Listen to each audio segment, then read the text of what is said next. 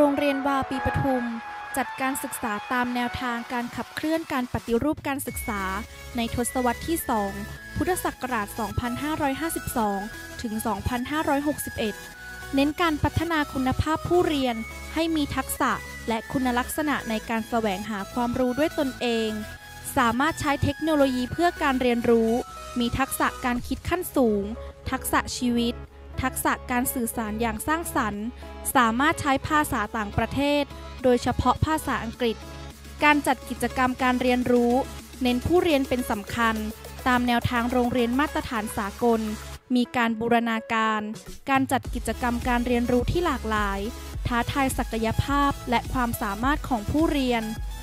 ผู้เรียนได้ลงมือปฏิบัติจริง และนำไปใช้ได้จริงในชีวิตประจำวันได้ โรงเรียนมีระบบการบริหารการจัดการศึกษาที่มีการนิเทศติดตาม มีการประเมินผลการจัดการเรียนการสอนตามสภาพจริงอย่างสม่ำเสมอ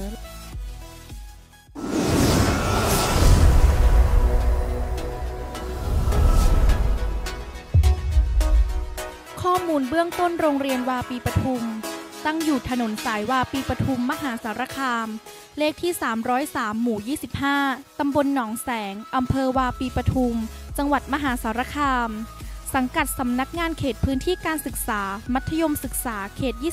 26 เปิดทำการสอนในระดับชั้นมัธยมมาศึกษาปีที่ 1 ถึงระดับชั้นมัธยมมาศึกษาปีที่ 6 จัดการศึกษาตามแนวทางของโรงเรียนมาตรฐานสากล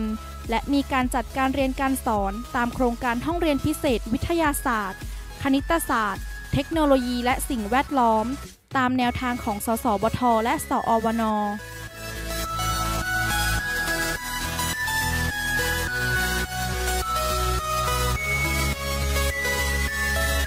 วิสัยทัศน์โรงเรียนวาปีปทุม โรงเรียนวาปีปทุม ชุมชนเกื้อกูล เป็นศูนย์กลางการเรียนรู้ ควบคู่คุณธรรม น้อมนำหลักปรัชญาของเศรษฐกิจพอเพียง มีชื่อเสียงด้านวิชาการ ผลงานเป็นเลิศ เชิดชูความเป็นไทย ก้าวไกลสู่สากล ภายในปี 2563 วิสัยทัศน์โครงการห้องเรียนพิเศษ โครงการห้องเรียนพิเศษ โรงเรียนวาปีปทุม จะต้องเป็นโครงการห้องเรียนพิเศษของโรงเรียนมาตรฐานสากล อันดับหนึ่งใน 10 ของภาคตะวันออกเฉียงเหนือ และเป็นอันดับหนึ่งใน 50 ของโรงเรียนมาตรฐานสากล ในระดับประเทศให้ได้ภายในปี 2563 พันธกิจโครงการห้องเรียนพิเศษมี 5 ข้อ คือ 1. เราจะมุ่งมั่นพัฒนานักเรียนห้องเรียนพิเศษให้เป็นคนดี คนเก่ง และมีความสุขตามปรัชญาการศึกษาของชาติ 2. เราจะมุ่งเน้นการจัดการเรียนการสอนที่มีคุณภาพและได้มาตรฐาน มีความเข้มข้นทางวิชาการ โดยใช้สื่อนวัตกรรมการเรียนรู้ และเทคโนโลยีที่ทันสมัย ภายในสภาพแวดล้อม และบรรยากาศที่ส่งเสริมการเรียนรู้ 3. เราจะมุ่งพัฒนาส่งเสริมศักยภาพของนักเรียน ให้สามารถแข่งขันกับสถาบันอื่นได้ และสอบเข้าศึกษาต่อในระดับอุดมศึกษา ในมหาวิทยาลัยที่มีชื่อเสียง ทั้งในส่วนกลางและส่วนภูมิภาค ในคณะยอดนิยมได้มากขึ้น 4. เราจะมุ่งพัฒนาครูและบุคลากรในโครงการ ให้มีความรู้และความเชี่ยวชาญในการปฏิบัติหน้าที่ ให้เป็นครูมืออาชีพ 5. เราจะมุ่งเน้นการมีส่วนร่วมระหว่างโรงเรียน ผู้ปกครองและชุมชน ลักษณะโดยรวมของบุคลากรโรงเรียนวาปีปทุม มีการบริหารจัดการบุคลากรออกเป็น 4 กลุ่ม ตามศักยภาพและความถนัด โดยคำนึงถึงผลที่จะเกิดกับโรงเรียนเป็นหลัก 1. กลุ่มบริหารงบประมาณและบุคคล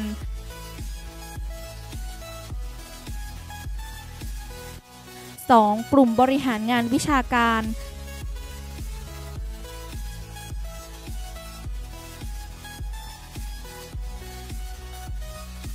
3. กลุ่มบริหารกิจการนักเรียน และ 4. กลุ่มบริหารงานทั่วไป บุคลากรโรงเรียน มีการศึกษาในระดับปริญญา มีความรู้ ความสามารถ มีทักษะ มีความเชี่ยวชาญในการถ่ายทอดความรู้ได้ดียิ่ง องค์ประกอบสำคัญที่ทำให้การจัดการเรียนรู้บรรลุผลสำเร็จ คือ บุคลากรของโรงเรียนเป็นครูมืออาชีพ มีความรักและศรัทธาในวิชาชีพ มีความรักและผูกพันกับโรงเรียน มีจิตเมตตา รักและเอื้ออาทรต่อผู้เรียน ส่งผลให้ปฏิบัติหน้าที่ด้วยจิตวิญญาณความเป็นครูอย่างแท้จริง บุคลากรโรงเรียนวาปีปทุม มีความหลากหลายทั้งในด้านสาขาวิชาเอก และมีครูต่างชาติที่มีคุณภาพ ที่ผ่านการคัดเลือกอย่างเข้มข้น จากคณะกรรมการโรงเรียน โรงเรียนวาปีปทุม มีอาคารเรียน 8 หลัง ห้องเรียน 72 ห้อง มีห้องปฏิบัติการวิทยาศาสตร์ ห้องปฏิบัติการภาษาต่างประเทศ ห้องปฏิบัติการคอมพิวเตอร์ ห้องสมุด ห้องศูนย์สื่อและนวัตกรรม ห้อง Resource Center ห้องปฏิบัติการดนตรีสากลและวงดุริยางค์ ห้องพยาบาล ห้องแนะแนว ห้องอาเซียนศึกษา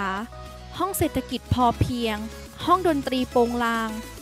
อาคารอเนกประสงค์ ที่มีความพร้อมในการจัดการเรียนรู้ การบริหารจัดการโครงการห้องเรียนพิเศษ โรงเรียนบาปีปทุม มีการจัดระบบและรูปแบบการบริหารโครงการห้องเรียนพิเศษ ในรูปแบบของคณะกรรมการ ท่านผู้อำนวยการดรมนูนเพชรมีแก้ว เป็นประธานคณะกรรมการบริหารโครงการห้องเรียนพิเศษ ท่านรองผู้อำนวยการว่าที่ร้อยเอกสุรเชษโคตรพัฒน์ ท่านรองผู้อำนวยการธนาวดีแสนพินิษท่านรองผู้อำนวยการสุมาลีสุขรัตน์เป็นรองประธานคณะกรรมการบริหารโครงการห้องเรียนพิเศษ และท่านรองผู้อำนวยการวัชรินติดบุงษา เป็นกรรมการและเลขานุการโครงการห้องเรียนพิเศษ คุณครูเรืองศักดิ์มัทวีวงศ์ครูชำนาญการพิเศษ ปฏิบัติหน้าที่หัวหน้าโครงการห้องเรียนพิเศษ คุณครูรัชนีวันวรรณศรีหัวหน้ากลุ่มสาระการเรียนรู้ภาษาต่างประเทศ ปฏิบัติหน้าที่ หัวหน้าโครงการห้องเรียนพิเศษ ระดับชั้นมัธยมศึกษาตอนต้น คุณครูพุทธชาติปกิคา รองหัวหน้ากลุ่มสาระการเรียนรู้วิทยาศาสตร์ ปฏิบัติหน้าที่ หัวหน้าโครงการห้องเรียนพิเศษ ระดับชั้นมัธยมศึกษาตอนปลาย และคุณครูสุภกฤษเรืองสมบัติ หัวหน้ากลุ่มสาระการเรียนรู้วิทยาศาสตร์ และเทคโนโลยี ปฏิบัติหน้าที่ ผู้ประสานงาน เครือข่ายห้องเรียนพิเศษ กลุ่มภาคตะวันออกเฉียงเหนือตอนบน ซึ่งมีโรงเรียนในเครือข่าย 10 จังหวัดจำนวน 29 โรงเรียน กิจกรรมการเรียนการสอน โครงการห้องเรียนพิเศษ เป็นโครงการในความร่วมมือระหว่างสำนักงานคณะกรรมการการศึกษาขั้นพื้นฐานสำนักงานคณะกรรมการการอุดมศึกษา สำนักงานพัฒนาวิทยาศาสตร์ และเทคโนโลยีแห่งชาติ และสถาบันส่งเสริมการสอนวิทยาศาสตร์ และเทคโนโลยี เพื่อเป็นการขยายฐานการพัฒนา และส่งเสริมผู้เรียนที่มีความสามารถพิเศษทางวิทยาศาสตร์ และเทคโนโลยีของประเทศ โดยมีลักษณะพิเศษที่มีความเข้มข้นมากกว่าหลักสูตรการจัดการเรียนรู้ปกติคือ 1. ใช้หลักสูตรการเรียนการสอนพิเศษ 2. นักเรียนได้รับการพัฒนาและส่งเสริมกิจกรรมทางวิชาการเพิ่มพิเศษ เช่น การเข้าค่ายวิชาการแบบเข้มข้น ค่ายบูรณาการทางคณิตศาสตร์ และวิทยาศาสตร์ ศึกษาดูงานทัศนศึกษา การได้รับการฝึกงานกับนักวิจัยในมหาวิทยาลัย ทั้งภาครัฐและเอกชน และได้รับการส่งเสริมการทำโครงงานวิทยาศาสตร์ คณิตศาสตร์ คอมพิวเตอร์ เทคโนโลยีและสิ่งแวดล้อม ร้อมทั้งได้รับการส่งเสริม สนับสนุนให้มีการนำเสนอผลงานทางวิชาการ ในระดับจังหวัด ระดับเครือข่าย ระดับภาค ระดับประเทศ